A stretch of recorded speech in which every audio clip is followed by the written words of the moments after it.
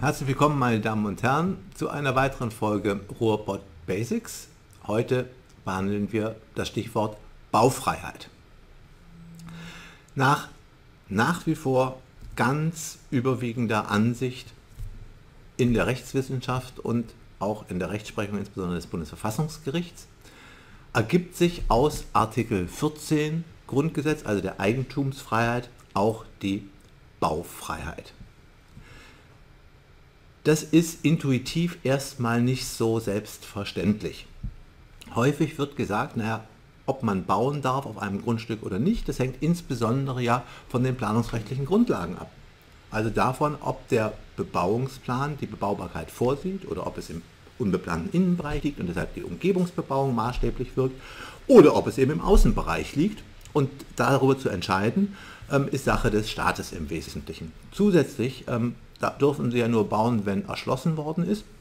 Wenn also das Grundstück mit Verkehrsanlagen und ähm, Daseinsvorsorgeeinrichtungen, also insbesondere Strom, Wasser, ähm, ausgestattet ist. Und das verlangt erhebliche Investitionen, also eine staatliche Leistung in die Infrastruktur.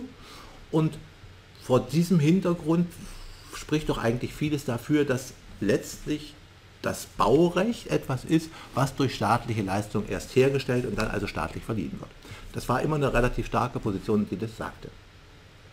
Diese Position kann dann häufig auch noch auf die Niederlande verweisen, wo das schon immer so war. Ähm, da gibt es aber eben einen ganz entscheidenden Unterschied, nämlich in den Niederlanden ist das System dadurch geprägt, dass der Staat durch Eindeichung das Land erst geschaffen hat oder große Teile des Landes erst geschaffen hat, also zur Verfügung stellt. Und wenn der Staat seine Leistung Eindeichung ähm, aufgeben würde, ähm, wäre auf einmal ähm, ein großer Teil des Grundeigentums ähm, unter Wasser und gar nicht mehr ähm, bebaubar, sowieso nicht. So, also vor diesem Hintergrund staatliche Leistung oder Baufreiheit muss man sich für ein System entscheiden. Und mit guten Gründen halten wir an der Baufreiheit fest, meine Damen und Herren. Ähm, Sie, müssen sich, Sie müssen darüber nachdenken, was wäre denn, wenn wir tatsächlich von einem staatlich verliehenen Baurecht ausgehen würden.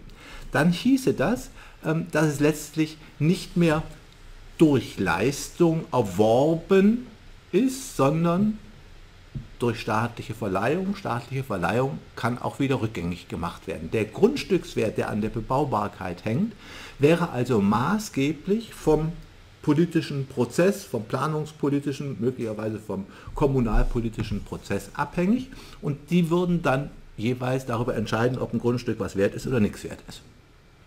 Das kann man so machen. Nur auf der anderen Seite ist auch vollkommen klar, dass das auf dem Grundstücksmarkt ganz erhebliche Auswirkungen haben würde.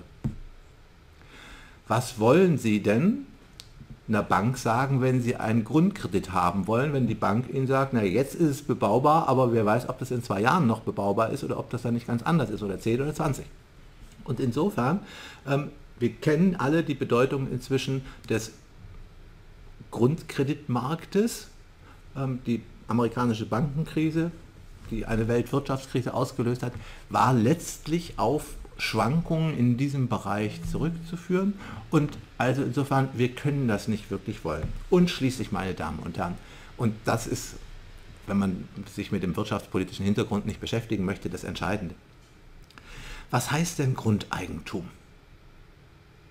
Warum schützen wir überhaupt Grundeigentum? Und zwar in einem unfassbaren Ausmaß. Ähm, die Grundbücher ähm, sind ein Riesenaufwand, den wir betreiben, die katastermäßige Erfassung, ähm, im BGB zahlreiche Regelungen über den Grundstückserwerb und die notarielle Beurkundungspflicht und so weiter.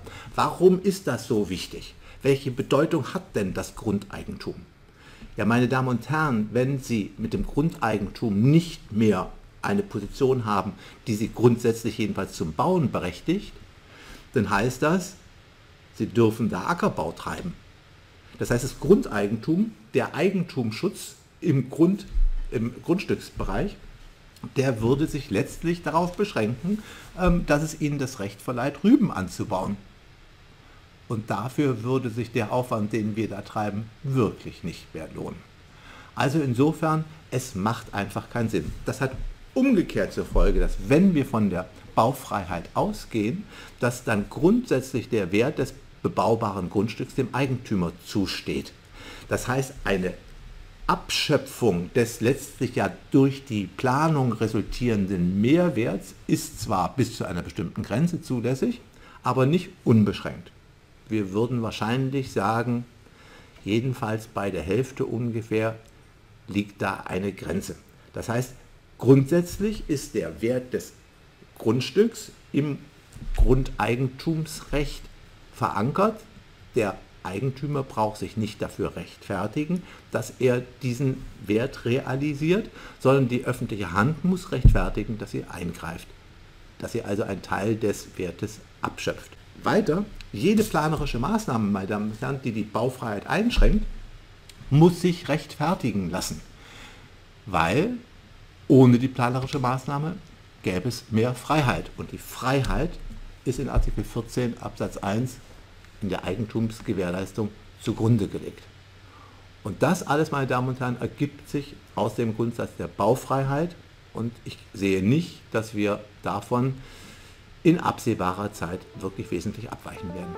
Herzlichen Dank. Vielen Dank fürs Zuschauen. Wenn es Ihnen gefallen hat, abonnieren Sie uns gern oder geben uns einen Daumen nach oben. Bis zum nächsten Mal bei den Ruhrpott Basics.